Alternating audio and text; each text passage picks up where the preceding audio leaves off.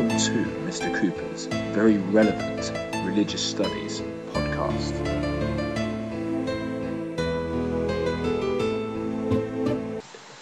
And now, a comparison between the approaches of Plato, Socrates, and Aristotle, read in the style of the football results. Athenian Premier League. Socratic questioning 1, Socratic apology 3. Plato's Republic, nil. Nicomachean Ethics, nil. A priori, 2. A posteriori, 2. Emotive Morality, 1. Allegory of the Cave, nil. World of the Forms as the elitist approach to accessing knowledge of morality through academic remembering united, 4.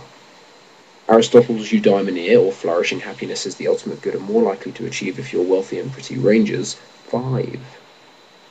Platonic learning as skilled remembering, 2. Aristotelian practical reason, nil. Virtue ethics versus form of the good is a late kickoff.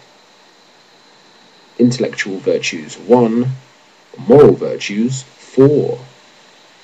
Vice of excess, 1. Vice of deficiency, 1.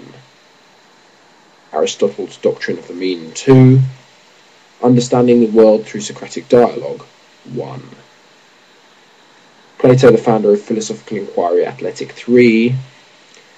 Aristotle, the father of natural sciences, Caledonian Thistle 1.